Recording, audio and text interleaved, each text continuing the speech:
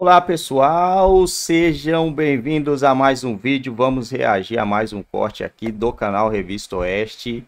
E o negócio tá triste, para não falar outra coisa, né? Tanta coisa para resolver no nosso país. Os caras estão preocupados em liberar as dogs para os caras poderem andar aí de boa com suas dogs, né? É, rapaz. Pelo jeito, saneamento básico tá de boa no Brasil. O preço da, dos alimentos tá baratinho, o preço do combustível tá muito barato. Que mais? Saúde de vento e popa, não tá tendo corrupção, não foi desaparecido aí um rombo de mais de 200 bilhões que ninguém sabe para onde que foi esse dinheiro. Tá tudo mil maravilha, porque depois de tudo isso, aí os caras vão lá, resolve tudo e vão lá se preocupar com as drogas, liberar drogas, né? É essa tá sendo uma das pautas importantes. Outro dia eu tava olhando uma lá, os caras querendo isentar carro. Olha só, o tanto de coisa eles querendo, ah, vamos fazer uma PEC, não sei o que lá, para isentar carro de 20 anos, não pagar imposto. Ah, gente, quem tem carro que tem 20 anos? Quem? É meio por cento da população cara não, não tem o que fazer, não. Esses caras não tem o que fazer. Nesta quinta-feira, o presidente do Congresso, Rodrigo Pacheco, comentou o julgamento da descriminalização do porte de drogas para usuários que ocorre no Supremo Tribunal Federal. Pacheco, que é autor da PEC das drogas no Senado, chamou a discussão no STF de invasão de competência do Congresso. O que nos motivou como reação principal foi que uma declaração de inconstitucionalidade que vai significar, sim, na prática juridicamente, a descriminalização da conduta, era algo que nós não podíamos concordar, porque isso cabe ao parlamento decidir se algo deve ser crime ou não. A vingar a tese da inconstitucionalidade, o que se estará fazendo é descriminalização da conduta é, numa invasão de competência do Congresso Nacional. Na próxima semana, a PEC antidrogas, de autoria de Rodrigo Pacheco, deve ser votada na Comissão de Constituição e Justiça do Senado. Segundo o relator da matéria, senador Efraim Filho, o parecer apresentado por ele em novembro do ano passado não terá alterações para apreciação. Houve a deliberação no Colégio de Líderes e, por consenso, quarta-feira na CCJ, o meu parecer sobre a PEC antidrogas será apreciado. Já há também né, a, o compromisso do presidente da CCJ, o senador Davi Alcolumbre, e vamos partir para esse debate, um debate que interessa a sociedade brasileira, interessa a família brasileira. No Congresso Nacional está essa prerrogativa e essa competência para discutir o tema de descriminalização das drogas. Não acredito eu que seja um tema para ser decidido pelos tribunais, mas pelo Congresso Nacional. Rodrigo Constantino, hoje conosco nesta quinta-feira. Muito boa noite, seja bem-vindo, Consta. Primeiro, eu quero te ouvir sobre esse julgamento aí no STF. Ontem comentamos aqui, ele foi interrompido ontem, foi suspenso uh, devido a um pedido de vista do ministro Dias Toffoli. Então, até o momento, temos um placar aí de cinco ministros a favor e três contra, então, a descriminalização do porte de maconha para uso pessoal. E vale lembrar que, além então de Dias Toffoli, que pediu mais tempo para análise aí desse processo, faltam também os votos dos ministros Luiz Fux e Carmen Lúcia. Quero te ouvir aí sobre esse resultado parcial, esse placar de 5 a 3 nesse momento, sobre a descriminalização do porte de maconha para uso pessoal aqui no Brasil. Boa noite, Consta. Boa noite, Paula. Os meios importam. Boa noite, Pioto. Boa noite, Fabi. Boa noite, Caute. Boa noite, toda a nossa ilustre audiência. O Dias Toffoli, um advogado do PT, ele chegou a ser acusado por alguns esquerdistas, alguns militantes e jornalistas de conservador por esse pedido de vistas. Agora, veja, como disse o, meu xará, senador Rodrigo Pacheco, isso é algo que cabe ao Poder Legislativo os meios importam. Mesmo que o sujeito ache que tem que haver uma descriminalização de drogas, como pensa, por exemplo, o é, presidente do STF, ministro Barroso, e ele tem todo o direito de pensar isso, achar que a guerra contra as drogas fracassou, seja lá o que signifique isso, né? Porque guerra contra o crime também fracassou no sentido de que vai continuar tendo crime sempre. Mas é, ele tem direito a essa opinião. Cada um dos eh, mais de 200 milhões de brasileiros tem direito a uma opinião pessoal e subjetiva sobre isso.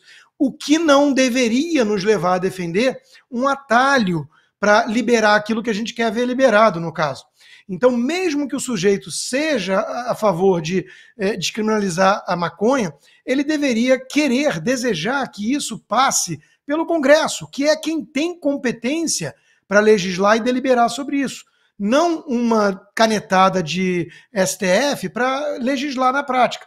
Agora, o senador Rodrigo Pacheco, em que pese ter acertado, portanto, nessa questão de foro, de competência, ele parece meio atrasado não é de hoje que o poder legislativo vem sendo atropelado quase diariamente pelo mesmo STF, que está legislando ou abusando do seu poder em inúmeras ocasiões e caberia justamente ao Senado Federal, na figura em particular do seu presidente, Rodrigo Pacheco, colocar em funcionamento no Brasil o mecanismo de freios e contrapesos para esse tipo de ingerência indevida, de uh, usurpação quase mesmo do poder legislativo por outro poder. Então, ele está certo no caso da maconha, ele deveria atentar para o fato de que isso está acontecendo em inúmeras outras áreas.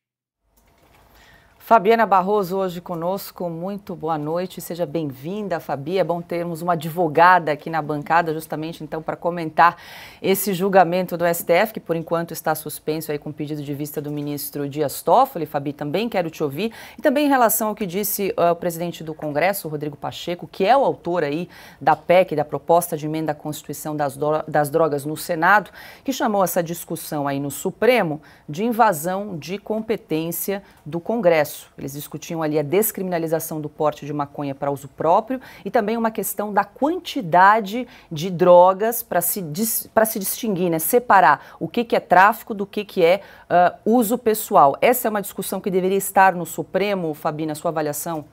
Boa noite, Paula. Boa noite a todos da bancada e principalmente a todos da audiência. É justamente isso, né? O Pacheco está certo. Essa discussão não deveria estar no Supremo. Inclusive, os próprios ministros falaram isso é, no julgamento de ontem. Eu acompanhei integralmente o julgamento, então sei bem. Né? Eles mesmos disseram. Até acho importante aqui a gente chamar uma pauta é, em relação a isso do André Mendonça, que quando ele faz, ele dá o exemplo da quantidade, né? A quantidade ali, ele até deu uma, uma solução e ele fez algo inovador no voto dele. Ele falou assim: olha, pessoal, o que vocês acham, coleguinhas, né, meus amigos aqui ministros, de vocês todos acharem é, um denominador comum? Vamos colocar agora 10 gramas né, de maconha, que seria ali a quantidade, e seis meses para o Congresso, então, legislar a respeito da quantidade. Bom, ele fez uma proposta que para mim é inédita, que é uma forma de evitar o ativismo judicial. É quase ao contrário, né? Falando, olha, vocês têm um prazo. E de fato, isso seria bastante ponderado para tentar voltar à normalidade jurídica que existe no Brasil. No entanto, o Pacheco, como você bem disse, ele é autor dessa proposta, desse projeto, e há muito tempo se está parado. Até falei, pensei comigo ontem, né? Falei, agora é sua chance, vai, Pacheco, mas eu não tenho muita confiança no Pacheco. Acho que isso depende de muita pressão, porque se dependesse o julgamento continuar, o que, que, nós vamos ter? A gente vai ter sim, embora o Barroso diga que não é descriminalização, é sim, porque vai sair do, do, do, artigo do Código Penal, vai passar a ser apenas uma sanção administrativa, que eu nem sei como é que isso vai ser na prática, mas isso vai deixar, inclusive, para contar os efeitos penais, então não vai ser mais criminalizado. Portanto, a discussão que o André Mendonça colocou ontem no voto dele, que foi muito bem fundamentado, e olha que eu não costumo elogiar ele tanto, mas ontem ele realmente foi muito bem, se vê que é uma matéria que é cara ali para ele e é cara para boa parte dos brasileiros. Então, o importante, na verdade, seria que fosse mantido o que já tem. Só, só deveriam realmente aí chegar nessa quantidade, que isso, como a lei deixa aberto, então abre base para a interpretação. Mas, gente, só uma, um detalhe: não, não tem nenhum preto pobre que vai preso aí por porte é, de maconha, como disse o ministro Barroso. Se isso estiver acontecendo, ele vai ter que dizer em que lugar, porque realmente o que a gente vê, a maioria das pessoas que são detidas por isso são liberadas e no máximo assim ali um termo circunstanciado e depois é liberado. Adalberto Piotto, muito boa noite. A Fabi citou aí o, o voto do ministro André Mendonça. Ontem nós exibimos aqui um uhum. trecho de uma discussão ali em que os ministros discutiam o conceito de descriminalização uh, da questão do porte da maconha nesse caso. Acho que vale a pena a gente rever novamente para uh, seguir na discussão aqui. Todos nós que já votamos acompanhando o relator, nós mantemos as penas do artigo 28. Talvez despenalizar nem seja a palavra certa, porque nós mantemos a pena. Pelo menos o 28, 1 e 3. Isso. Nós só dizemos que elas não são de natureza penal, e sim administrativa. Mas isso é descriminalizar. Eu estou tirando o ilícito penal, passando para um ilícito administrativo. Se fez uma separação para não mandar esse usuário, normalmente jovem usuário, como disse o presidente, para uma delegacia e nem tratá-lo como penalmente responsável pelo simples uso de uma baixa quantidade de droga. Mas o sistema permite internação. Por isso que, inclusive, no voto, que é muito mais alongado, se falava de medidas recomendáveis que o próprio Congresso poderia tomar. Uma dúvida, ministro Gilmar. Não vamos mandar para a delegacia, nós vamos mandar para onde? Se, se, exata, se, exatamente se diz. Claro que vão continuar. Que a autoridade administrativa vai cuidar vão, disso. É, essa é a proposta do modelo. Tem. Gilmar Mendes não conseguiu responder a pergunta ali do ministro André Mendonça, Piotr. Paula, boa noite. Fabi, bem-vinda. Cauti, uh, Constantino, a todos vocês que nos acompanham. Para mim, esse é o ponto. Daí, essa é uma evidência absolutamente cristalina de que esse assunto precisa ficar exclusivamente com o Congresso Nacional. O Supremo não conseguiu dar uma resposta à mais simples pergunta que fez aí o ministro André Mendonça. Ah, bom, deixa de ser penal, o que ele já chama de descriminalizar, contradizendo o que pensa aí o ministro Barroso, e depois vai para onde? Vai para a esfera administrativa. Bom, mas e daí? Quem vai fazer? A pergunta era simples. A esfera administrativa pode ser absolutamente nada nesse caso. Não se tem estrutura para isso. Aliás, foi perguntado qual seria o órgão. Mas está muito claro que o Supremo não tem respostas para as coisas mais óbvias a respeito deste assunto. Daí que, onde é a casa onde vários temas, anseios populares, visões diferentes do país, onde é que você tem essa diversidade de opinião e constitucionalmente representativa da população, o Congresso Nacional. Que pode daqui a pouco mudar de opinião. Por quê? Porque o Congresso simplesmente vai lá e é uma, para usar uma expressão que eu me lembro quando eu era moleque, uma caixa de ressonância da sociedade. Tanto que muda a cada quatro anos. No Senado você tem sempre dois terços ou um terço é, é, em que são renovados, a Câmara muda a cada quatro anos. Se um novo Congresso chega com uma outra opinião, pode fazê-lo também. Ah, mas essa questão, para mim, deixa muito claro o como o Supremo não está conseguindo lidar com as coisas mais simples disso. Imagina ser, como o próprio Roberto, ah, ah, perdão, o, o, o, o Pacheco, o presidente Rodrigo Pacheco já entendeu, é descriminalizar sim, que é o autor dessa, dessa proposta sendo votada lá no Senado. Daí volta ao Pacheco. É, parecia alguém da oposição reclamando do presidente do Senado e do Congresso Nacional que o Supremo está invadindo prerrogativas do Congresso Nacional. Não é ele. Ele quem tem deixado a desejar. Aliás, no começo dessa semana, se não me engano, no final da semana passada, ele foi perguntado se o texto que está na Comissão de Constituição e Justiça do Senado se iria ser votado. Ele disse: vamos aguardar um posicionamento do Supremo Tribunal Federal. Agora, ele disse que é uma invasão de prerrogativas, acho que não foi essa expressão que ele usou, mas enfim, alguma coisa nesse sentido de competências, para usar a expressão que ele usou, uma invasão de competências. É, qual o Rodrigo Pacheco que vale? O de agora, que está reclamando, que faz muito mais sentido, esse, esse é original, um presidente do Congresso original, ou aquele que diz vamos aguardar uma manifestação do Supremo? Não adianta aguardar, porque a gente viu o ministro Toffoli dizer que não, vou pedir vista. Enquanto se pede vista, o Congresso, que já tem um assunto que deveria estar pautado já na Comissão de Constituição e Justiça e fazer avançar, também não avança porque o presidente do Congresso diz: ah, vamos aguardar uma manifestação do Supremo. Não. Esse assunto é única e exclusivamente tema de apreciação pelo Congresso Nacional. E a gente viu aí este exemplo para mim, eu pedi a Paula para a gente repetir esse trecho de ontem, porque ele demonstra claramente. Olha a pergunta que fez o ministro André Mendonça. Primeiro, ele destitui a tese completa do Roberto Barroso, do, do, do presidente da corte. Tá, mas se saiu da esfera penal e vai para a administrativa, é descriminalizar. Uma análise óbvia, objetiva e direta por lógica, semântica, não precisa ser nem penal, nem jurídica. Depois ele pergunta ao ministro, uh, uh, ao ministro Gilmar Mendes, tá, mas se não vai na delegacia, vai para onde? Qual é esse órgão que existe na esfera da administração, da administração pública? São essas coisas que precisam ser levadas em conta. É, pessoal, infelizmente é isso, né?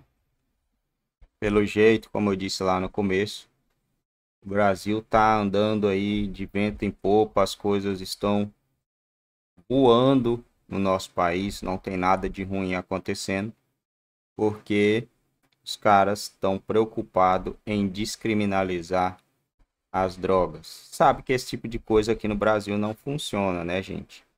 Brasil é um país muito atrasado por culpa deles, políticos corruptos, né? Político brasileiro corrupto, não tem lei, não tem pena que, que, que possa. As, as leis são construídas por eles, eles são corruptos, eles vão fazer alguma lei que vai prejudicar eles. Não vão, né? Não vão, não vão, não vão. E a, a, o papel, né? O papel canta ali na mão deles e muito.